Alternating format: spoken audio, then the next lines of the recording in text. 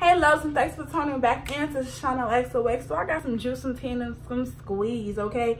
I'm gonna tell you guys how I basically met my older brother after 20 years. Okay. So right now I'm 22. I've known my brother for two years, okay? And I couldn't ask for a better older brother. Like he's great, he's awesome, and I love you, Courtney, if you're watching this. But before I get into the juicy tea and squeeze, you know what you guys need to do? Subscribe. That's what you need to do. And hit that bell so you can get all my notifications when I upload a video. Thank you guys so much. And give me a thumbs up on this video so I can continue doing more. Okay, now on to the tea. So, I'm pretty sure you guys got an idea why I have not met my older brother after 20 years. And if you don't, then I'm just going to tell you. My mom and my dad, um, they met. And when my mom met my dad, he already had children. So, okay. So, he, I had, he already had like four kids at the time. Which is a lot, but hey, you can't judge people, you know. She fell in love, whatever. So, then, um, my dad would always have pictures of my older siblings and stuff. And I probably met them maybe once or twice, maybe. But I don't remember because they didn't come frequently in my life. I don't know what happened in the crossfires. Maybe baby mama drama. I don't know. But all I know is 20, when I was 20 years old, I got a friend request from a boy named Courtney. And I looked at the name like, hmm. Excuse me. So I just accepted it. And then I looked at it and I, I clicked the profile and I'm like, oh my God, this has been an image of my father. So I'm I'm running through my house and I'm like, oh my God, ma, look, he got Courtney. So she's like, oh my God, he got so big, da, da, da.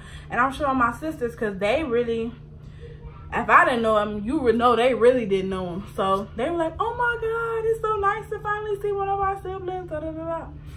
So we were just making, everybody was making plans so we can all see each other. We'll probably go out to eat at Pizza Hut or something, like get some Pizza Hut. I'm talking about go eat at Pizza Hut. Go out to eat at like Giordano's or something like that. And we just get to know each other because he had his two siblings and then I had my three siblings. So it was just going to be like a family reunion, basically. A sibling reunion, okay? But that didn't even really get to happen. Because it just was like, it was like he was going through things and then we were going through things and it just didn't get to happen. So a month goes by and me and my friends decide we want to go to the store named Forman Mills. So we go to the store, we're looking around, blah, blah, blah. I'm just fake shopping or whatever, knowing I ain't buying nothing. So I get a tap on the back and I'm like, what girl? Da da da. And I turn around and I see my brother. Boy, what are you doing here? I was like, come here. Come here. Come here, big brother. And he just like, it's so good to see you. It's finally good to meet you. He just all cool and I'm all antsy and stuff like, oh my God. like I really love family. So when I finally got to meet him, it was just like, hallelujah, thank you, Jesus. And so basically we just talked a little bit he was shopping. He doing some house shopping with him and his girlfriend. So I basically was like, um, we definitely need to link up. So we did end up linking up after that, after that um occasion, and we basically me and him just click. He like he's just so laid back and chill.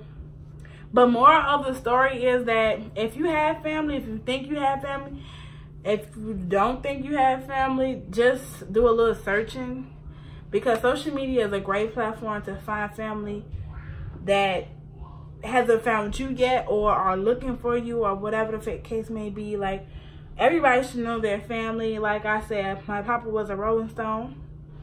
So I could just be walking down the street and walking past my sibling and not even know it. Luckily for my brother, he looked exactly like my dad. So I couldn't be like, whoa, stop touching me. You know, you get what I'm saying? I know y'all get what I'm saying.